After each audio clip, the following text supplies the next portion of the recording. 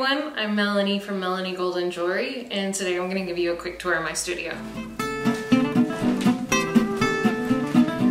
This is my main workbench. Um, this is where I do the majority of my making. I have my bracelet mandrel here. It's really cool because it rotates. Um, I have my bench pin and my GRS equipment. Um, I just upgraded to this Hakko fume extractor. I used to have one of those little small ones, the, the bench top fume extractors, and um, it really just not was not doing the job that I needed. So I just upgraded and I'm very proud of it. um, I like to use these little bowls to keep track of all the pieces that I'm working on. Uh, I think about these on Amazon. They're just little wooden bowls and right now I'm working on some little stud earrings.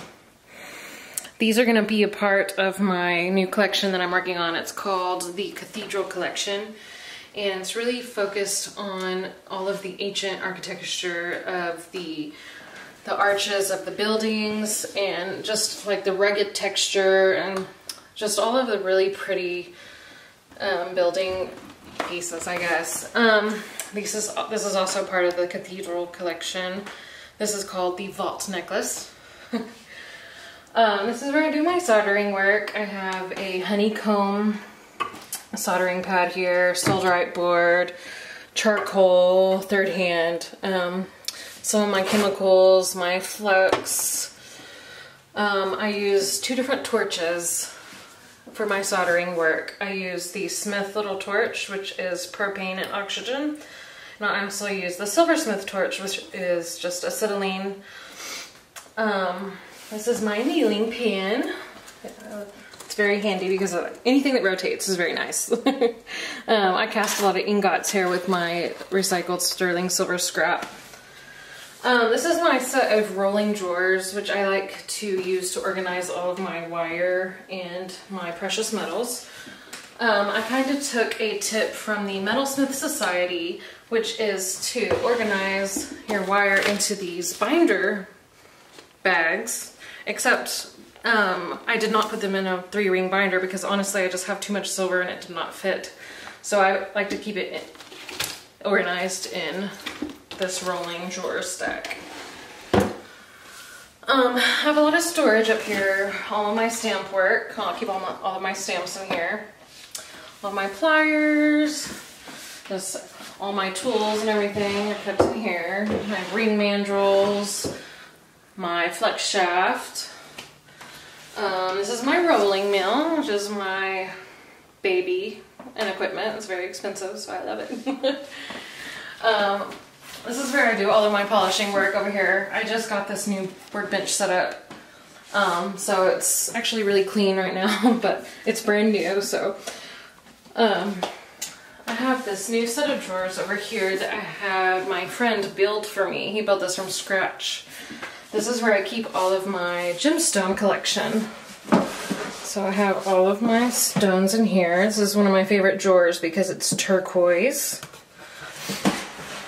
Um, honestly, there's just stones and stones and stones everywhere. There's so many. So that's that.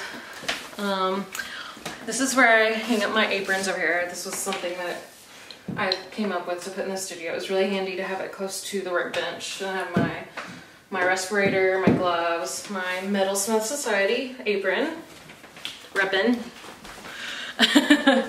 um, more Metalsmith Society tote bags, which is what I use to take all my packages to the post office. Um, I have another workbench over here, which um, has my engraving machine, which I just got this about a year ago. And I'm really loving it so far. I need to do some more work with it. Um, I have my disc cutter, my dapping blocks, my um, my press. Um, uh, I also have a bathroom attached to the studio, which is where I do all of my finishing work. In here, I have my tumbler, I have my pickle pot. Um, I also have a tea kettle, which I think was a Metalsmith Society suggestion as well. Um, this is where I melt my my setting compound into a tea.